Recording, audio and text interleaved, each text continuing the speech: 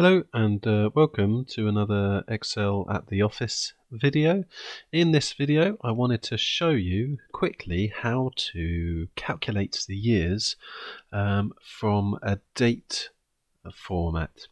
So oftentimes you'll see a date and you might want to extract the year from it. For example, if you want to uh, use it in another formula or to calculate the difference between two dates uh, as whole or uh, fractions of a year.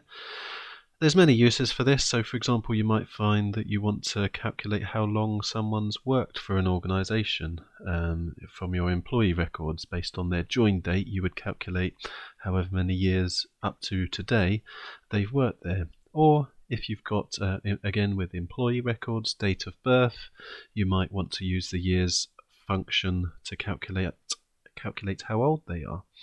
There's a whole mix of reasons you might want to use it, but it's um, it can be uh, a faff to try and find out how to do it exactly. So here we go. So the most simple option, and I show here in Excel, is the um, just return the year within a date. So extract the year from a date. Uh, the formula for that is simply equals year brackets date. Um, as with all the formulas and functions in Excel, always start with equals and the um, juicy bit goes between the brackets. Now I've done that based on uh, this formula here. So here's a date, so 20th of September 2019. And using the formula, so equals year, and the date reference is my cell reference in this instance, uh, E7, and that it brings back 2019. So that's simple, really easy to use, converts your date into a year, um, displays it as an integer, that means a, a whole number, and it's uh, really handy to categorize and group dates. So, for example, also if you've got some raw data that is structured according to um, dates, you can group those into years and do similar for uh, months with another formula I'll show you uh, another time, the EO month formula, or even quarters and so on. So it's just grouping information by year. If you've got sales transactions, that's another use. A heap of sales transaction data, and you want to say, well, how much did I sell last year compared to the year before? The year function, add that as an extra column to your data, can be quite handy. Um, and you can use uh, the you can use it with today's date or just man manually type a, uh, a, a um, date if you want to just extract the year. But generally, it's done with cell references when you're referring to other dates.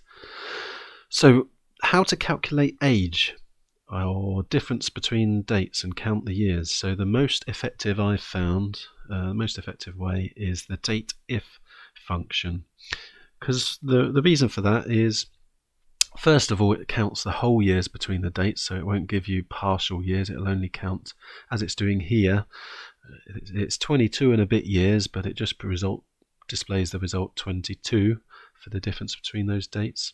And I'll share this uh, template in my associated blog. I'll write with this video. Um, and it's really uh, simple date if and it's quite simple to get your head around um, so, uh, yeah, so cal calculating again years in service, age, time spans between dates, and simply uh, stated. So it's equals date if, and when you open the brackets, uh, you enter what the start date is. So in this formula, I've used the cell reference C27 as my start date, which is that uh, merged cell here. So whenever you're referencing merged cells, always just reference, uh, you can select it and it will do it for you. It will take the leftmost column and topmost row from that merge cell. So that's my start date. Always have an end date that's uh, bigger than uh, your start date, of course. And then choose your unit. So this dateif function, I've used it for years.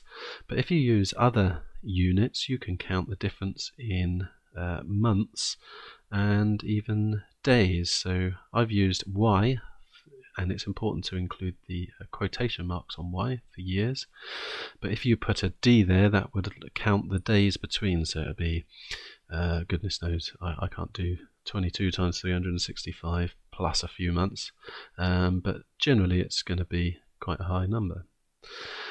So that's really handy for calculating the years, and if you then want to categorize, say for example, uh, I did something recently where I categorized people by their year's service in an organization because there was a concern that they were too there was too many people that are junior in service and they needed mentoring for more experienced people and they didn't have enough people in the longer service. So the way i kind of tackled that i first of all um, calculated the uh, service length based on when they joined as my start date and then the end date I used the today formula so I just put um, so end date I used today uh, uh, in my uh, the, as I've done uh, above here, so that the today function.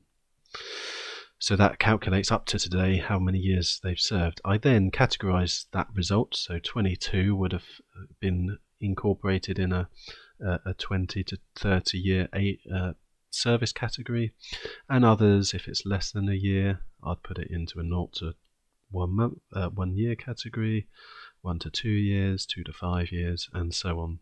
And that's using the equals if function, which is a great way of categorizing data, and I'll show you that in another video. But in essence, all what you do is you kind of type equals if, uh, and if that result is greater than, say, 20, you'll then choose, let's say, uh, 20 to 30 years and type that in quotation marks, marks uh, and then so on. So with a comma, you then build another if statement to uh, reference your um, data point. But I'll do a proper video on that, but it's basically building a combination of if statements to create categories. And the final uh, way you can calculate years between dates.